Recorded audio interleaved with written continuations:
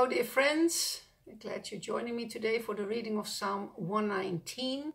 And today we've come to the 19th uh, paragraph, and I'm asking you to read verse 140, uh, 145 until 152, eight verses. And this paragraph corresponds with the Hebrew letter Kof. It's interesting, again, some kind of desperation in this paragraph. I cry out to you, I rise early, I, I, I'm praying, I'm crying out. This is really a cry of the heart of the psalmist when we read it. And you read it for yourself and see if you can relate to it and if you've ever felt that way, or maybe you are feeling like this right now.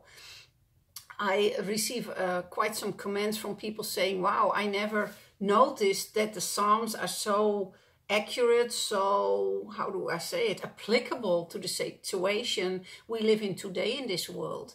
And they can really relate to what the psalmist is praying, uh, to the cry of his heart. And I think it's so wonderful that we have the word of God, that we have a living word that's really sharp and powerful, and it can speak to us in any situation.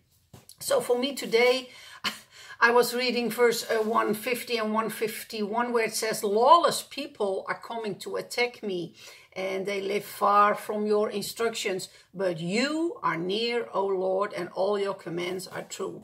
And I think this com this are opposite sides of, of, of the spectrum. Lawless people are coming to attack me. They live far from your instru instructions, but you are near, O Lord. And this is importance. This is where our focus should be. A lot of people are far away from God's instructions. Even governments, countries, nations are far away from God's instructions. But God is always near. He's near to us. And that's really an encouragement and that's a comfort to know. And I want to leave you with that thought for today. So see you tomorrow for paragraph 20. Bye.